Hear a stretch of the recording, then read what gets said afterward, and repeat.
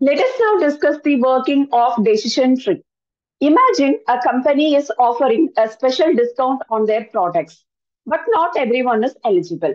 To decide if someone is eligible, they consider three factors age, whether they own a house, and income. So the first question is about age. If age is more than or equal to 40, then this part of the algorithm works. If age is lesser than 40, then this works.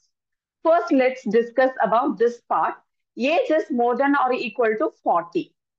Whether they own a house. If yes, they are eligible.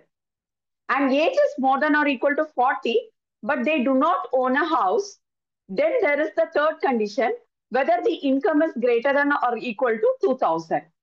If the income is more than or equal to 2000, then they are eligible. If not, they are not eligible.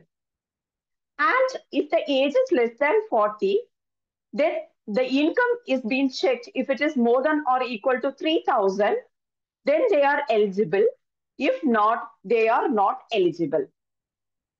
So it's like a flow chart that helps the company quickly to determine who qualifies for their special offer.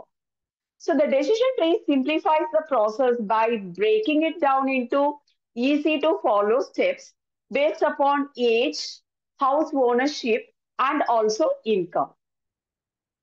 Decision tree is a supervised learning model and which can also be used for solving both classification as well as regression problem.